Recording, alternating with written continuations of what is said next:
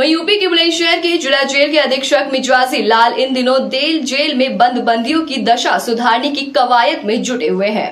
बकायदा जेल में बंद बंदियों को निपुण बंदियों से कौशल विकास परीक्षण दिलाने में जुटे हैं ताकि जुर्म की दुनिया से आए बंदी जेल से जब रिहा हो तो उनका पुनर्वास हो सके और एक बार फिर समाज की मुख्य धारा से जुड़ सके।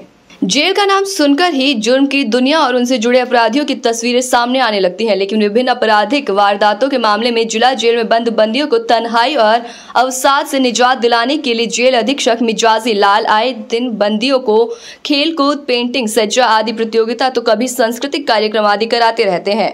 लेकिन अब जिला जेल के जेल अधीक्षक ने बंदियों को कौशल विकास का परीक्षण दिलाना प्रारंभ कर दिया है। बुलंदशहर कारागार में बंद बंदियों की दशा सुधारने का काम किया जा रहा है।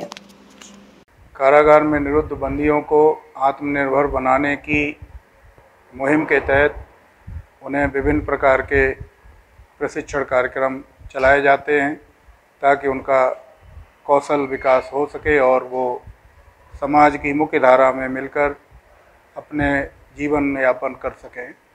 इसी के तहत वर्तमान में कारागार में बंदियों को पेंटिंग कला में प्रशिक्षित किया जा रहा है।